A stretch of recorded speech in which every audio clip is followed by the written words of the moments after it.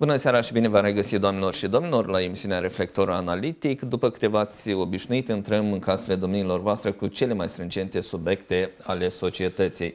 Pentru ediția de astăzi ne-am propus să discutăm despre 18 luni de mandat a președintelui Igor Dodon despre realizările și eșecurile pe de altă parte. Vom încerca să le identificăm împreună cu invitații emisiunii de astăzi, care sunt Valentin Beniuc, doctor habilitat, profesor universitar, rector IRIM. Bună seara, bine vă ați venit! Și Pavel Medrigan, doctor conferențiar universitar, avocat. Bună seara, bine ați venit, domnule Medrigan! Bună seara! Domnule Beniuc, haideți să începem cu cele 18 luni, în uh, fruntea țării se află uh, președintele Igor Dodon. Este o perioadă de timp care ne permite să tragem niște concluzii, să spunem că președinția a trasat unele obiective pe care și le-a propus și acum încearcă să le atingă sau le-a atins? Da. Deci totalul se fac și peste o zi de activitate, peste trei luni, peste da. un an și peste cei patru ani care urmează să, să se epuizeze în perspectivă. Da? Deci, da, 18 luni, cum spuneți dumneavoastră, sunt, este o perioadă destul de considerabilă pentru a face unele uh, semnificări în ceea ce privește activitatea președintelui. Ce aș spune eu? În primul rând, toate pornirile președintelui Dodon au fost uh, de uh, foarte semnificative, de bun augur pentru uh, societate. Toate intențiile lui, chiar acțiunile lui, au fost uh, extrem de uh, notabile și oamenii trăiau cu speranța că se vor realiza lucruri care n-au fost uh, anterior nici vorbite chiar. În această perioadă a crescut și încrederea instituției prezidențiale în raport cu Da, opinia. sondajele uh, spun despre lucrul ăsta cu mare elocvență. Președinția uh, își arată fața pe care ea trebuie să o aibă, una activă, una pro-acțiune, uh, una care răspunde la solicitările oamenilor, la solicitările structurilor sociale, cum, cum spunem noi, băieți foarte activi, deștepți, bine pregătiți, cu inițiative și așa mai departe. Indubitabil că președinția și-a câștigat o mare simpatie în frunte cu președintele, evident, față de societate. Dar despre ce vreau și multe alte lucruri. În ceea ce privește sfera activităților externe, de asemenea s-a reușit foarte multe lucruri. Lucruri care erau lăsat conștient de izbeliște, mai ales relațiile cu țările Uh, din uh, estul uh, nostru, da. din, cum spunem noi, din CSI, în special cu Rusia, pentru că aici nu este vorba doar de relații diplomatice, ci dar cele este economice. vorba, da, dar este vorba în speță de relațiile economice și aici ne oferă nouă posibilitatea ca să declanșăm proiecte în economia națională. Pentru că poți să produci mult, bine și calitativ, dar dacă nu ai piața de desfacere, n-ai făcut nimic, pentru că nu, nu este realizare, nu, nu sunt acumulări și nu sunt investiții. Uh, uh, lucrurile se, se închid aici ea. Producție, acumulări de capital, investiții, producție. Da. În sensul ăsta, Rusia, uh, activitatea președintelui în ceea ce privește relațiile cu Rusia au fost activități de performanță. Uh, au fost, uh, s-a deschis piața în fața producătorilor, cu cerințele și exigențele respective, da. Uh, fără îndoială, și așa mai departe. Pe plan, pe, în ceea ce privește conflictul transnistrian, care este unul de fond, este unul, o chestiune principială, o problemă principală pentru stata, sta, statul nostru și statalitatea noastră. Președintele a întreprins pași îndrăzneți s-a întâlnit cu cei care administrează această regiune, uh, uh, au discutat probleme în ceea ce privește interesul cotidian al, uh, al oamenilor, mobilitatea lor, peste obstacolele care sunt instituite. Accesul la terenurile agricole. Exact. Care au.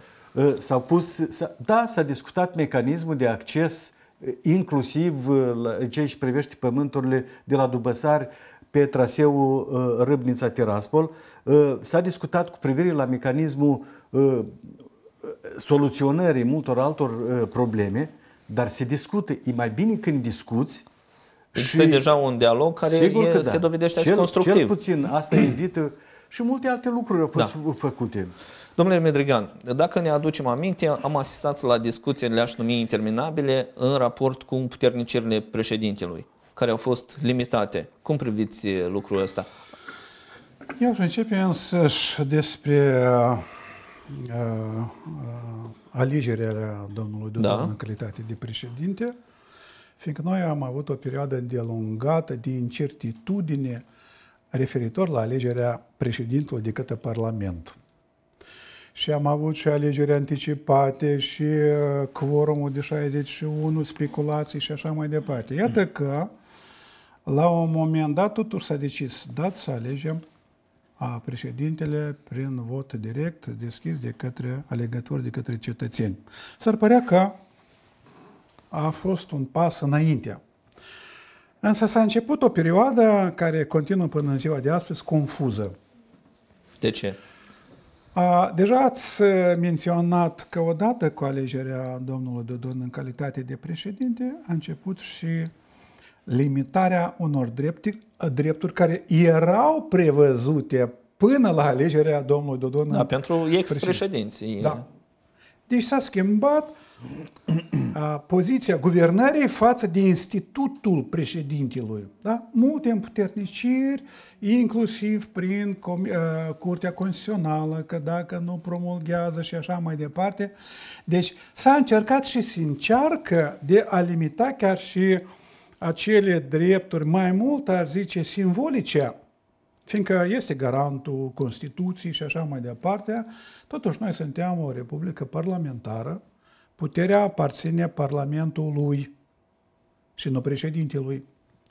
Chiar și acele împuterniciri, iată că s-au făcut tentative și se fac până în ziua de astăzi de a limita activitatea președintelui. De ce? De ce partidul, iată, de guvernământ a făcut deci, pasul ăsta? că uh, domnul Dodon provine, am putea să zicem, dintr-un partid de stânga, care în programul său, uh, inclusiv la alegeri, a venit că noi ar trebui să schimbăm un pic optica relațiilor noastre, inclusiv și mai principal de a ameliora relațiile noastre cu Federația Rusă. Și s-au adus multe argumente, atât istorice, economice, culturale și așa mai departe, care într-o mare măsură, într-adevăr, au susținere între cetățeni. Între cetățeni, inclusiv și eu. Că dezvoltarea statului nostru, a țării noastre, depinde într-o mare parte de relații bune cu vecinii și de Federația Rusă ca un partener strategic. Apropo, așa și este indicat că Federația Rusă este un Domnule partener Medrian, strategic. Da, în, în spațiu public a fost lansată ideea de țară prezidențială. Prinde ea contur? Idee viabilă în contextul social-politic? Dați să vedem, nu ce sună, dar uh, esența. Da? Suntem noi gata astăzi, și eu m-am expus, suntem noi gata să acordăm toate împuternicirile unui persoane când la noi societatea este foarte divizată. Asta nu e alte țări omogene cu o populație omogenă care toți sunt într-o barcă, da? toți Eh, cum zice, înnoată într-o direcție și tot sunt probleme. Iată, uitați-vă, țările Baltice, ei nu au problemele noastre, dar tot au mari dificultăți. În România, în alte Se țări. Da? sistemul. Deci, eu la moment am dubii. Fiindcă dacă domnul Timofte ar fi avut împuterniciri foarte mari cu poziția sa unionistă, păi asta nu știam unde suntem cu blocul NATO, poate avem ceva trupe deja pe aici.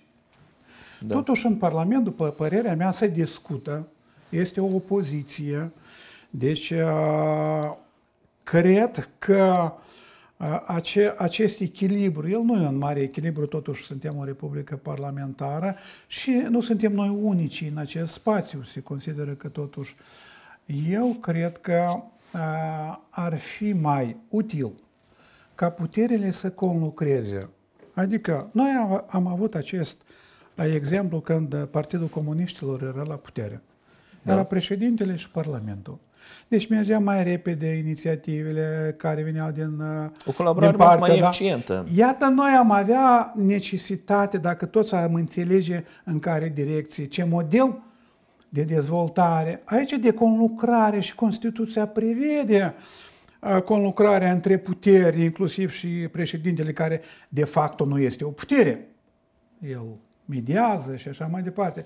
Eu aș vedea mai mult această da. înțelepciune de conlucrare decât atribuirea a unei puteri exclusive în mâinile președintelui care nu se știe în mâine cine va fi.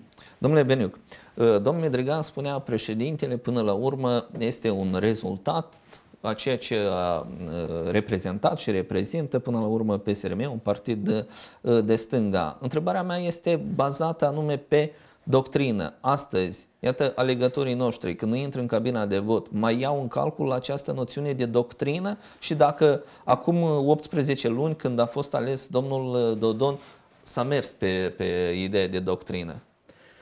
Deci nici liderii unor partide nu cunosc noțiunea de doctrină și ce este ce prevede de fapt ea, da, da. da. Cei care se numesc, de exemplu, liberali, ei idei nu au ce este liberalismul și care este istoria. Esența acestei doctrine. Da, esența, istoria și manifestările acestui fenomen foarte, printre altele, foarte interesant, foarte interesant, pentru că liberalismul nu este subcultura liberală, da. diferite curente în sensul ăsta.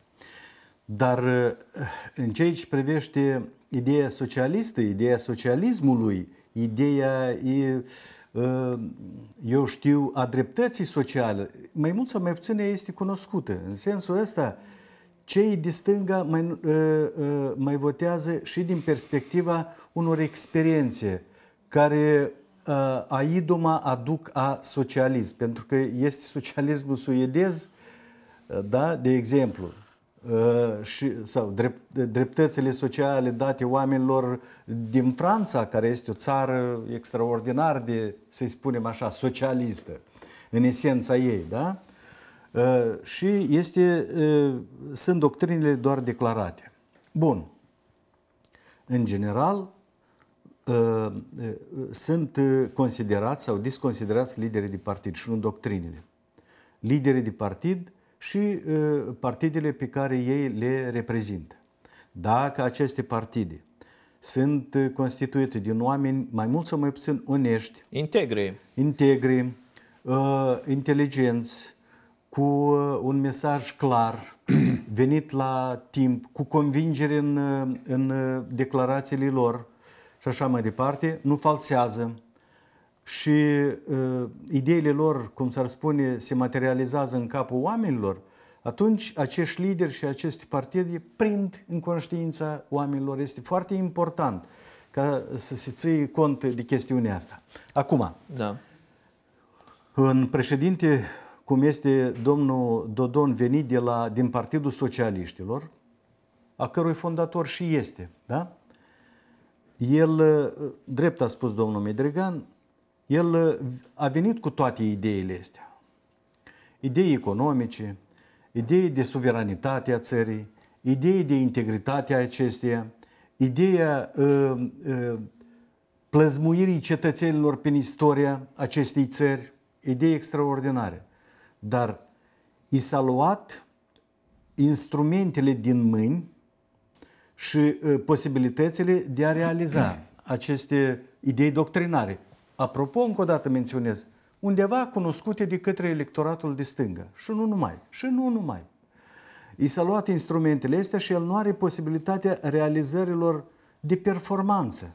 Da, ideea cu țară prezidențială e periculoasă, așa cum spunea domnul Medrigan? Nu, eu, eu, n-am, zis, eu n-am zis periculoasă. Nu, da, ca să fiu... Da, da, da. Eu, eu am înțeles ce a spus da. domnul Medrigan. Eu sunt părtașul uh, uh, uh, statului prezidențial nu în general, pentru Republica Moldova. Categoric, pentru Republica Moldova este necesar nu de o mână tare și nu de o, un, o, dar de o minte ageră, de un om care ar, ar pleda pentru interesul poporului și lucrurile astea se constituie în timp și în în uh, structura instituțională a statului. Sunt pârghii care nu permite președintelui și lucrul ăsta trebuie să fie instituit în timp. Nu permite președintelui ca el să, să mâine vine altul și începe a da în stânga și în dreapta. Sunt pârghii care stopează, îl pun într-un coridor de mișcare cu, uh, uh, cu permisiuni și interziceri legislative, să-i spunem așa mai, uh, mai nejuridic. Da. În sensul ăsta, în sensul ăsta uh, uh, sunt tradițiile respective. Noi tradițional alegeam președintele țării, fie Snegur Lucinski, Uh, uh, uh, Voronin era privit ca un președinte ales, da, oamenii au uitat că l-a ales Parlamentul. Era privit ca un președinte ales căruia, care este dator să, să facă dreptate oamenilor. Deci oamenii își aleg președintele, conducătorul și pun toată nădejdea și miza în acest conducător. Oamenii mizează pe cei că trebuie să mă duc să mă jălui cui? Celui ales de aici, de pe loc, din sat, din raion sau din centru de acolo. Însă sunt niște tradiții. Sunt niște tradiții. În afară de asta, noi suntem într-o criză foarte serioasă, inclusiv statală, economică, politică, ideologică, în toate domeniile. Și aici, dacă nu este un centru care elaborează, realizează, controlează. Deci un centru decizional foarte bine închegat în frunte cu președintele țării. Asta da. este absolut necesar. Domnule Medrigan, există trei puteri în stat. Respectiv, astăzi menționam în cadrul acestei emisiuni că un arbitru ar trebui să fie președintele. Cum vedeți dumneavoastră colaborarea președinției, pe de o parte, cu celelalte instituții ale statului? Și iau aici în ghilimele de rigoare și cu celelalte puteri. Este foarte dificil. De ce? A vorbit domnul Beniuc de oarecare tradiție, de mult nu mai respectă la noi tradițiile. La noi sunt planuri, proiecte, la noi sunt proiecte politice. Aceste partide care au apărut acum noi sunt niște proiecte politice, inclusiv cu implicarea factorului extern. Au venit echipe să iei puterea, așa rapid, cu internetul, cu Facebook-ul, buh, buh, buh, Scop destructiv. Noi nu avem partide tradițional cu organizații în teritoriu, când liderii încep de la organizația primară, cresc în partid ca conducători, trec diferite etape, devin miniștri. Iată, oricare poate să nimerească ministru, nu știu de unde, a căzut din pot și el e ministru. Iată cum se formează cum proiectele noastre, nu vreau să numesc familii. I-au adus din alte state și i-au pus miniștri care nici n-au studii în acest domeniu. Chestia e, cu guvern tehnocrat așa e un mit. Numit tehno, e un mit. Așa, așa, așa numit, dar în realitate este acordul de asociere, sunt mai multe planificate, este arătat drumul pe care poate să margă și nu mai mult, plus minus, deja în fiecare domeniu este stabilit. Eu vreau să revin la această rog, întrebare. Spuneți referitor la președinte. Aș menționa două aspecte. Prima, totuși este important însăși de personalitatea domnului Dodon. Este o persoană care poate să vocifereze, să explice, în comparație cu alți președinți. În tot cazul, domnul Timofti nu l-am prea văzut să-și manifeste poziția semna acolo, din când în când mai dădea niște ordine medalii și cam cu asta era limitată toată activitatea. Iată că a venit un președinte care se implică, care se implică folosind pârghiile, într-adevăr, competențele. Și doi, domnul Dodon, cel mai important, cred că pentru o, o mare parte a cetățenilor, a vociferat niște chestii care de mult îi rodeau. Prima, statalitatea Republicii Moldova. Iată, pe o majoritate uh, o primesc uh, aproape. Noi vrem să fim un stat independent, suveran. Fiindcă sunt alte partide care vor să distrugă statul, să dispară. Iată că a, a, a, a vociferat această idee care a prins. Care a prins. Doi, că noi suntem un stat neutru. Și asta este șansa noastră. Iată că unii cam cu rușine, chiar unii la Curtea Constituțională s-au adresat, dar cine trebuie nouă autoritate, hai sub umbrela NATO, nu știu ce. Iată că domnul Dudon a spus, Dar de ce noi să nu folosim un stat neutru aici în centrul Europei, să avem relații bune cu totul? Da. da. Trei, referitor la relațiile cu NATO. Toată lumea știe cine sau ce prezintă blocul NATO. Este un bloc militar. Și el de ce se menține chiar și după tratatul de la Varșovia care a căzut, se ține și se dezvoltă. Este.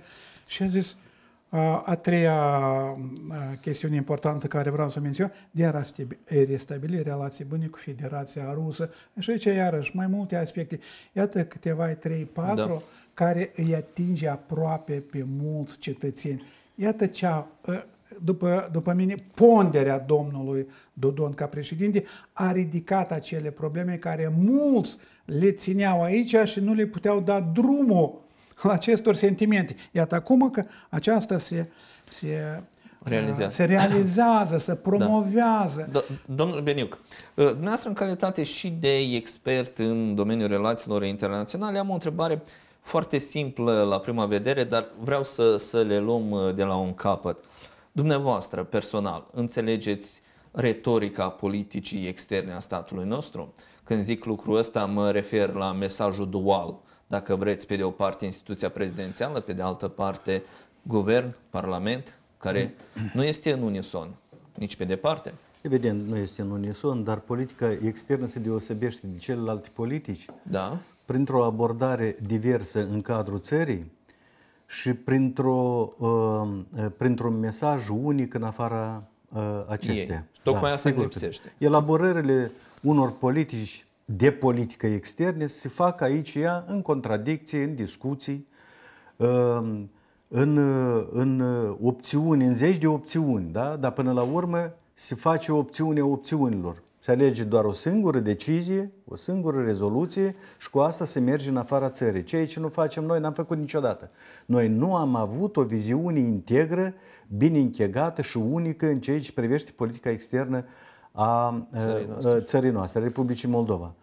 Și lucrul ăsta vin din anumite izvoare, să-i spunem așa, a unor relații sociale. O parte din societate pledează pentru relațiile cu conștient sau inconștient. În 90% inconștient. Pledează pentru relațiile cu o parte a lumii sau cu o altă parte a lumii. Neaducând nici argumente de ce ce îl încălzește pe dânsul la suflet fără a-și da seama, cum s-ar spune, da? Sau la auzul celor uh, vociferate de către politicieni. Uite, băi, cam aici e așa ea. Care cu Europa, care cu CSI, care... Dar foarte, apropo, din ceea ce a vociferat, a spus, a declanșat, uh, cel puțin în mesajul său, președintele, este că el repetat, a menționat și lucrurile astea trebuie, cum s-ar spune, materializate prin acțiuni. Dar vă spun că el nu are instrumentele respective. E timpul să ne uităm spre noi, pro-Moldova, spre noi. Nu, nu este important pentru noi, pentru partidele, pentru acțiunile noastre, pentru politica noastră, în ce ce politica externă.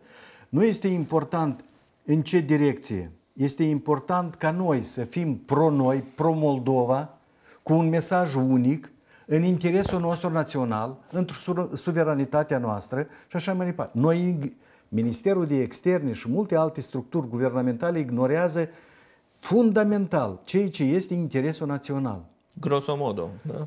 Noțiunea de național și mai tare este ignorată. Interesul nostru al țării, interesul național cum spunea mari înaintași teoreticieni a relațiilor internaționale, Raymond Aron, de exemplu, da?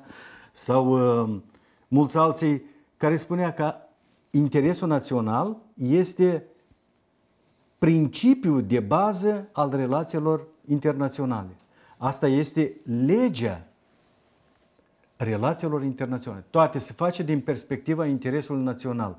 El la noi nici nu este măcar exprimat de cine? De uh, structurile specializate, cum ar fi Ministerul de Externe. Ei în termenii ăștia nici nu vorbesc. Președintele țării vorbește despre noi, despre Moldova, despre interesul nostru, despre suveranitatea noastră, ceea ce este foarte important. De aceea el va fi bătut și în continuare. Sunt lucruri care sunt fundamentale, principiale. Iar pentru cei care nu-și doresc acest stat și pun umărul la distrugerea lui, niciodată nu va fi convenabil acest președinte. Domnule Medrigan, între instituția prezidențială și între Curtea Constituțională a existat un ping-pong. Când zic lucrul ăsta, mă refer la acele declarații, mă refer până la urmă și la uh, refuzul domnului președinte de a numi ministrul apărării, dacă e să facem o incursiune sub aspect istoric. Până la urmă s-ar părea, ar zice alții, că președintele a cedat. Eu vreau câteva da. momente la Spuneți. ce a spus uh, colegul Beniuc. Uitați-vă, la noi această confuzie reiese din cadrul legal. Fiindcă unele competențe în relațiile internaționale le are și președintele, și Parlamentul, și Guvernul. Și iată, când conlucrează aceste trei ramuri, noi, președintele, nu zicem că e o ramură, dar da. are competențe, iată, atunci este bine. Fiindcă ce nu ar întreprinde președintele, cât de bine n-ar fi, dacă un act juridic internațional, fie convenție, da. fie acord, fie, dacă nu se ratifică de Parlament, el nu are putere juridică. Și aici Adevărat. domnul președinte ar putea cele mai, cele mai, chiar uh, vedeam... Uh, Inovatoare idei. Uh, cu Federația Rusă, niște chestii importante în alte direcții. Câte intenții nu ar fi, dacă nu se ratifică, ele nu pot fi aplicabile. Iată, aceasta trebuie de schimbat aici, fiindcă nu coincide, fiindcă a, a promova ideea națională este o raritate. Nu multe state își permit aceasta cu toate că toate vor. De ce? Suntem cu părere de rău dependenți. Dependenți. Prin urmare, trebuie să avem o mare abilitate ca noi, uite cum fac chinezii, da? Ei mai mulți ani, că care vector, nici nu putem să spunem. Ei își caută de treabă și au, au ridicat țara. Ei sunt mulți, două, domnul Medrigan. Nu e chestia așa, India sunt mulți și alții, nu. Este o politică inteligentă sau, să zicem, Coreea de Sud și așa mai departe. Deci, a, a, când o țară depinde de factorii mari de aspectul internațional, dar noi ne-am, ne-am prins aici între două focuri, între două puteri. Iată că guvernarea de la Chișinău în mai multe perioade a încercat să găsească, să profite de cineva, poate mai ușor ar fi. Dar între Unele... aceste două focuri e posibil să fim neutri? Este foarte complicat, dar trebuie să avem personalități destul de inteligente și să explice poziția noastră. Fiindcă este mai ușor să te lingușești pe lângă cineva. Uitați-vă unde se duc delegațiile guvernării acestea, se duc pe la Washington, se duc la Bruxelles, în loc să se ducă la Rășcani, se ducă la Bălți, să discute cu cetățenii noștri, să ducă acolo. Iată, noi discutați cu, ce, cu cetățenii noștri, aproape nimeni nu discută. Pe dânsi interesează o să le mai dea niște credite sau nu? Iată că ei a să le dea foc verde că ei chipurile sunt pro-europeni sau nu? O să le mai dea niște granturi sau nu? O să le interzică sau o să fie niște dosare penale pentru chestiile care se întâmplă sau nu? Iată că au luat această uh, poziție uh, noi mai zicem uh, câteodată și nu numai noi, de vasal. Și iată, domnul Dodon, nici de cum și corect o face și are aici sprijinul noi, cu tradiția noastră, dar noi am trăit și greu, și mai greu decât acum, am trecut perioade, dar am încercat să restabilim această demnitate, să promovăm oamenii demni care au capacitate și să mergem înainte, adică nu suntem noi mai proști decât alții. Domnul Medregan, astăzi, la ora actuală, avem uh, persoane în elita politică care ar putea să ne reprezinte la cel mai înalt nivel țara, pe plan extern. Uitați-vă, dacă dăm uh, noțiunea de elită, atunci avem probleme. Elita sunt persoanele care sunt gata să se jertvească pentru binele poporului. Eu astăzi, lideri politici care s-ar jertvi, sau dați să vedem perioada de 26 de ani, câți președinți la noi sau prim-ministri s-au jertvit pentru țară? Avem multe exemple? Avem exemple de piloni morali care au venit și au zis că, băieți, eu tot dau pentru țară. Au venit toți și s-au folosit, au profitat, s-au făcut cu bogății, cu pământuri, cu case, cu mașini. Uitați unul după altul. Eu nu pot să numesc această elită. O elită, da, ar putea, dar încă o dată zic noțiunea de elită care vine să se jertvească. Da. Eu astăzi, poate că sunt, dar pe arena politică nu-i prea văd. Domnule Beniuc, Republica Moldova este o țară multietnică. Respectiv, președintele Dodon s-a pronunțat nu o singură dată într-o susținere a tuturor minorităților uh, Republicii Moldova și uh, domnia sa a încercat să nihileze ceea ce unii ar numi o ură față de limba rusă. De unde e alimentată această ură? În societate ură um, împotriva limbii ruse nu există. Sunt speculații Vă rog. Uh, uh, al uh, celor care ridică această problemă. Um, această problemă, deci problema minorităților, problema comunicării lingvistice, problema denumirii limbii, sunt probleme care pot bulversa foarte ușor societatea. Și atunci când este vorba de a organiza așa o criză, o mică criză, se apelează la chestiunile astea. Lucrul ăsta nu de mult a avut loc când a fost anulată legea respectivă care reglementa oarecum da, limba aici rusică, făceam referire, domnule. Limbă, da. limbă de comunicare internațională, fiind primi, adoptată atunci în perioada sovietică, acum nu mai este în ea și așa mai departe. Uitați-vă, în situația când noi nu rezolvăm nicio problemă uh, economică, serios, fundamental, avem o sumedenie de probleme sociale, avem probleme în sistemul educațional, avem probleme cu tineretul, avem probleme cu exodul, avem probleme în domeniul relațiilor internaționale care uh, nu pot fi deservite de o diploma, uh, diplomație bine ajustată. Avem problemele astea. Avem problemele aia, că aici se vorbește de, cu elitele care trebuie să formate. Elitele urmează să fie formate. Noi avem elite. Dar calitatea lor noi spunem așa banal, lasă de dorit.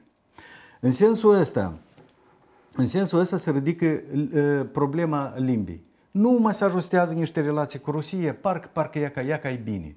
Iată niște întâlniri, ia ca să discută cu cei care lucrează în Rusia, că sute de mii de oameni ridicați de aici și duși încolo. Nevoie, eu ridicat am în vedere. Iată, iată, numai se rezolvă problema deschiderii piețelor. Iată, parcă niște gesturi așa mai calde din partea Rusiei, care este o forță, care este un factor internațional determinant în regiunea aici. Chiar cu Transnistria, pe care noi vrem să o rezolvăm, da? Dacă Rusia ar face un gest de recunoaștere a Transnistriei, noi am pierdut partida din start, am pierdut-o. În sensul ăsta noi trebuie să fim atent cu acest factor, cu acest actor determinat aici în regiune. Din toate punctele de vedere și din punctul ăsta trebuie să fim foarte atenți. Și numai o lucruțică s-au mai ajustat lucrurile și numai s-au liniștit apele, iarăși Expulzăm diplomații, ex, da? Asta e, cum îi spune asta curtea asta de apel, nu, curtea asta de, care e preocupată de, de Constituție. Curtea Constituțională.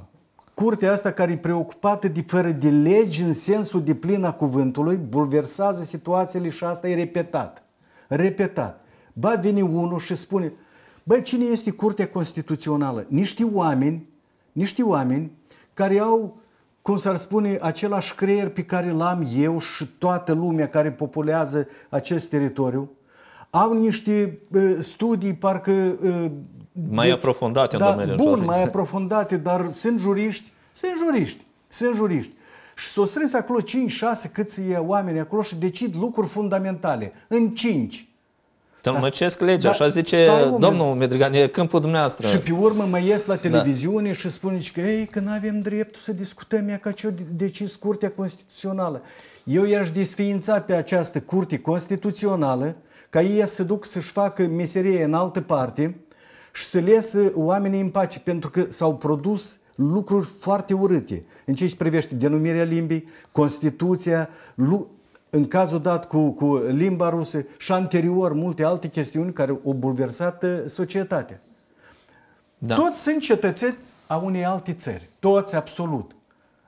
în, în sensul ăsta, noi nu avem suveranitate. Domnul Midrigan a atins problema interesul național. Dumneavoastră a spus despre uh, ideea națională. Este vorba de interesul național Da. care este greu de realizat în condiția că noi depindem din mulți factori.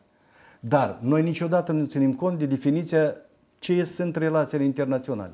Ele nu reprezintă altceva decât soluționarea propriilor probleme pe contul altora. Pentru asta trebuie să ai foarte multă... Materie cenușie. Da. Așa, așa. Domnule Medrigan, într-un fel sau altul sunteți obligați să vă, nu știu, uh, acoperiți Desființați colegii și gata. de la Curtea Constituțională. No, noi acopăr, zicea Ioan Creangă, zice, prostia este fără margini. Fără margini. O să mă refer și eu la limba rusă. Bun, uh, când a venit uh, domnul Lukashenko, l-am primit ca pe un tătucă. Ne-a dus da. acolo, el ca un salvator, cu producția noastră. Dar dacă noi ne ducem în Belarus, în ce limbă să vorbim? Dacă noi ne ducem în Kazahstan, că sunt ai noștri istoric, partenerii noștri, noi în ce limbă să vorbim în Kazahstan, că sunt ai noștri, bun? Că Rusia, Rusia, în Belarus, noi în ce limbă să vorbim cu belorusii? Sau în Kazahstan? Deci e o chestie elementară și zic de ce că prostia nu are margini la noi. A cunoaște mai multe limbi este o bogăție.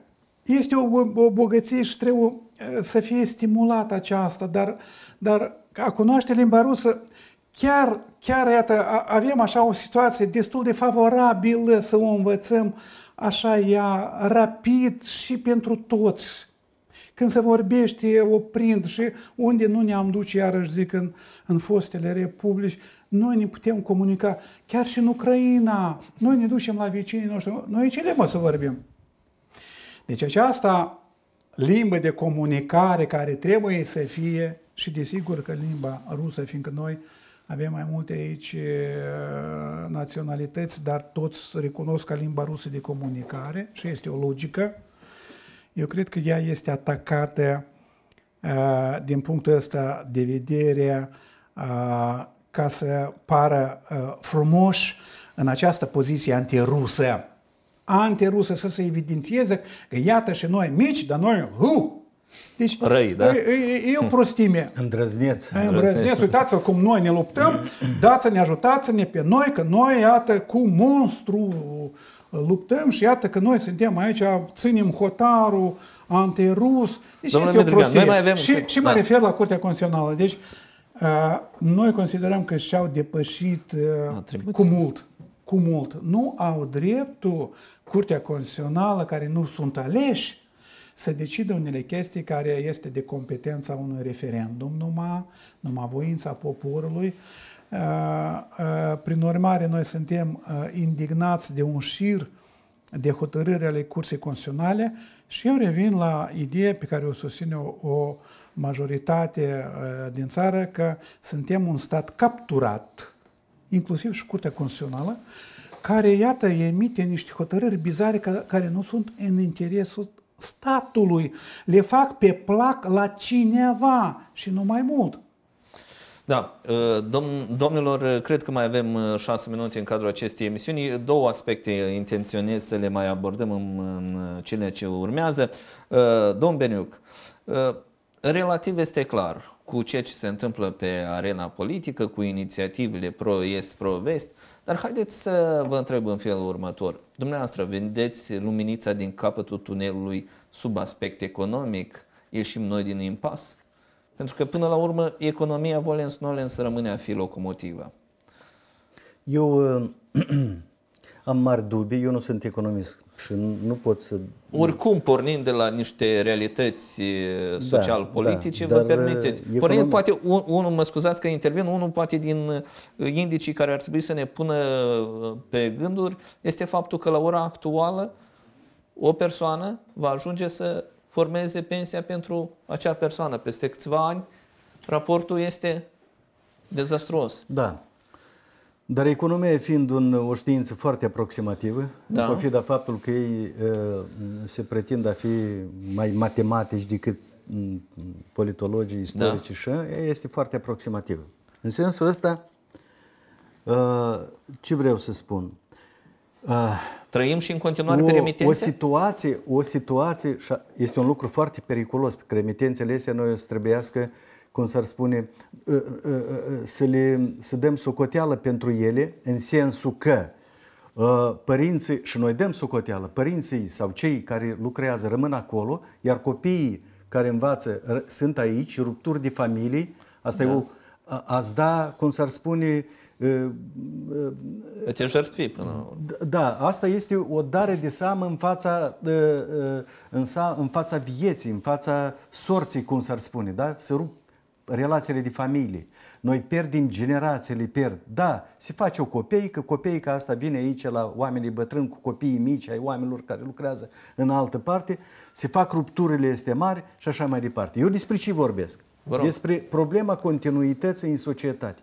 O economie durabilă și dinamică în dezvoltarea ei ă, este asigurată de continuitatea socială. Am în vedere cetățenii pregăti, pregătiți în sistemul educațional sunt ă, formați în sistemul educațional, ei prind una că devenind mari și în profesia lor urmează să-i asigure pe cei care i-au ajutat să învețe, să, devine, să devină profesioniști și uh, să se așeze în, în, în viață. Iată, continuitatea asta este ruptă. Este ruptă uh, pentru că la noi în școală nu învață copiii a fi cetățeni care urmează, cum spunea domnul Midrigan, să se jertfească în sensul respectiv al cuvântului, ca să aducă beneficiu țării, societății, părinților lor, prin aceleași pensii. Pentru că fără un buget considerabil, dar bugetele considerabile nu este fără o economie considerabilă, Așa? Există o interdependență în toate. Este o interdependență. Și uh, uh, uitați-vă, uh, deci dedesubturile stau în continuitatea asta ea între generații. Pentru că unii trebuie să aibă grijă de alții. Și asta da. se face nu doar prin cuvinte, dar prin acțiuni materializate în economie. În economie. Noi, părinții, lăsăm copiilor ceva. Deci lucrul ăsta se răsfrânge exact în societate. Generația care vine din urmă urmează să facă mult mai mult decât...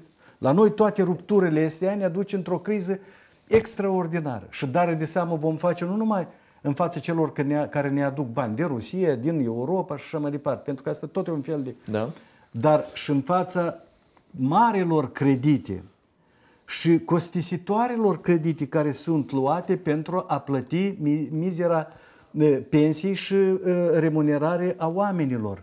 Adevărat. Domnul Medrigan, două minute ne spune regia. Eu am uh, o întrebare tot pornind de la ceea ce spunea domnul Beniuc. Da, Atât da, guvernul da, Filip, dar și... Da, fără, fără întrebare, o să continuă gândul domnul profesor Beniuc. Atunci Uitați, simplu, unde e miliardul, spunea și nu, Filip. Nu, nu, putem Asta ne ajuta sau nu? Nu, Vă rog. Nu, nu ne ajută cu nimic, nimeni nu vrea să-l întoarcă. Pericolul este ce a menționat și domnul profesor. Da. Cetățenii noștri parcă așteaptă Mesia. Și atât când a venit domnul președinte uh, Dodon, e drept că au fost și unele promisiuni la general de care unii s-au atașat foarte repede. O să vedem cu pensiile să mărim, o să indemnizațiile. Iată că aceasta dependind în tocmai de bugetul statului, de Parlament, Președintele are intenții bune, dar acele mecanisme nu le are, nu este competența. El a înaintat că eu o să contribui, o să fac ce este posibil. Și aici vine capcana. A, domnul președinte a promis, nu ne dă, iată, locuri de muncă a promis, nu face, pensia a promis, nu se face, școli, grădiniță, infrastructuri nu se face, domnul președinte, dar pe zis. Deci, iată, aici ar trebui încă o dată de văzut unde nu merge și de ce nu merge, de a explica că intenția președintelui sunt bune, dar ceilalți, uitați câte inițiative și a președintelui și a Partidului Socialist, ele aproape că nu trec în Parlament. Succesul Ignoră. acestor inițiative depinde de alegerile din uh, iarnă? Ca să încheiem această emisiune. Depinde de alegerile din anul acesta, din noiembrie, sperăm, și da. dacă și dacă se va schimba guvernarea și domnul președinte va avea o susținere parlamentară, eu cred că lucrurile ar putea să meargă mult mai bine. Pe această notă sunt obligat ca să pun punct în ediție de astăzi. Eu vă mulțumesc pentru participarea la această emisiune, vă aștept și cu alte ocazii. Stimați telespectatori, în studio a fost Valentin Beniuc, Pavel Medregani, vă doresc o seară bună alături de Accent TV.